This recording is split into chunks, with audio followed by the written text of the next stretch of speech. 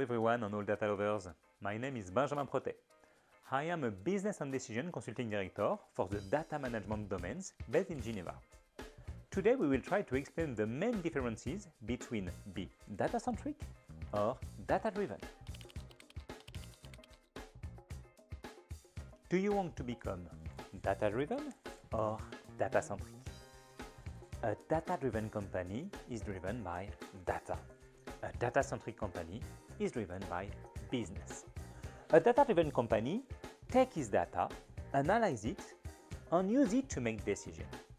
A data-centric company starts from its business model and see how data can support its business model and implement all the services to achieve its business goal.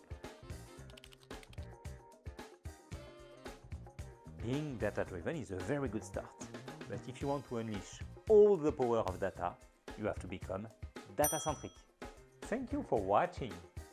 If you want more detail, just comment the video. See you soon on another Data in a Minute video.